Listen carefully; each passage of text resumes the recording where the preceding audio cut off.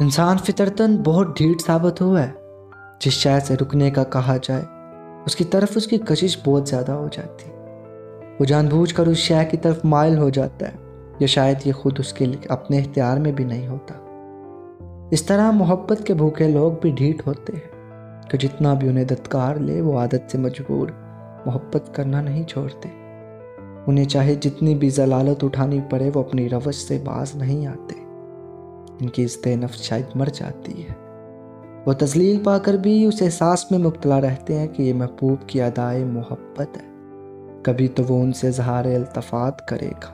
आह, मगर अफसोस, सद अफसोस के वो इस गलत फहमी और खुशगमानी में सब कुछ हार देते हैं। अपनी अना अपनी इस्तेनफ अपना गरूर हती कि अपनी ज़ात भी।